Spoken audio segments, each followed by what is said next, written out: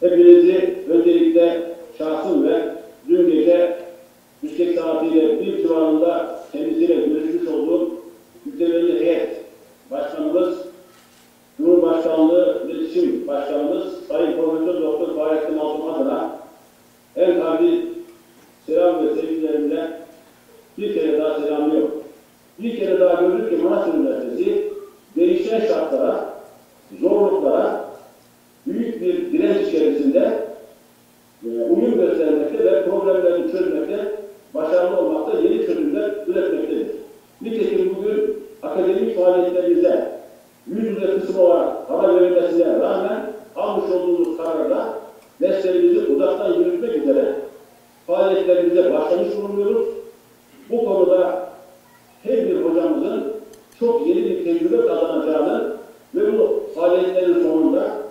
kendisi için büyük bir kazanım elde edeceğini de söylemek istiyorum.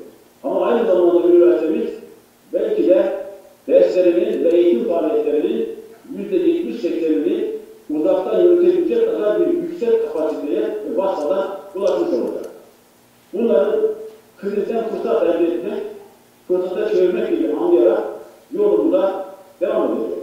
Son bilgilere göre e, bu e, sokağa çıkma yasa, yasağı e, akşam saat 8'den sabah 7'ye kadar uygulanacak. Demek her gün akşam 8'den s- e, saat 7 sabaha kadar kimse sokağa çıkmayacak. E, kim çıkabilir? Polis ve e, Sağlık Bakanlığı'nın personeli. Diğerleri çıkamaz.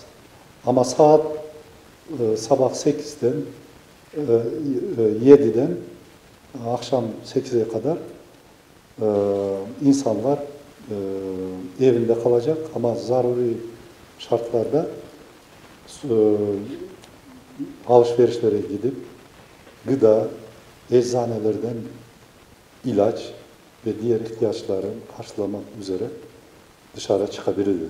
Ama ceplerinde kimlik belgesini taşımalı, pasaportlar. Çünkü 24 saat e, dışarıda e, takip edilecek polis tarafından, asker tarafından. Bunlar e, mesela herkesi durdurup belgelerini rica edebilirler. E, Bişkek şehrin dışına kimse ruhsatsız çıkamaz ve dışarıdan da Bişkek'te kalabilen kişilerin dışında kimse Bişkek içine alınmaz. Ben dedim siz burada 200 tane öğrencisiniz dedim. Ama bizde 260 Kırgız hocası var. Eğer öyle bir şart çıksa biz sizleri bir birden evimize alacağız. Kimse sokakta kalmayacak. Ve kendi ailenizden e, daha iyi e, şartlarda tutacağız sizi. Kendimizin çocuklarımızdan, kendimizden ayırsak da azaltsak ama size her şeyi saklayacağız ve ailelerinize sağlam dönmenize şart kuracağız dedim. Ee, sabah 7'den akşam 8'e kadar insanlar yine günlük ihtiyaçlarını karşılamak adına dışarıda, dışarıda yani bir markete falan gidebilecekler. Oturumla ilgili sorun olanlar lütfen evden çıkmasın.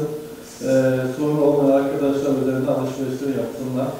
uzaktan eğitim aracılığıyla eğitime devam etme kararı aldı ama birinci kararda akademik hakkımız değiştirilmiş ve bir hafta sanırım uzatılmıştı. Bunun dışında başka başka ders yapma platformları da var. Mesela YouTube kanalı hocalarımız var. Dünyada yaklaşık 200 tane üniversitenin bir araya gel- gelip de oluşturduğu bir açık ders malzemeleri havuzu var. Evet. Ee, Türkiye'de de e, yaklaşık 40 tane üniversiteye yakın bu açık ders malzemeleri havuzuna üye oldu. Şu anda Türkiye'deki birçok üniversite e, bu açık ders malzemelerinin üyesi. Mesaj olarak geldi. Onu size e, okumak istiyorum.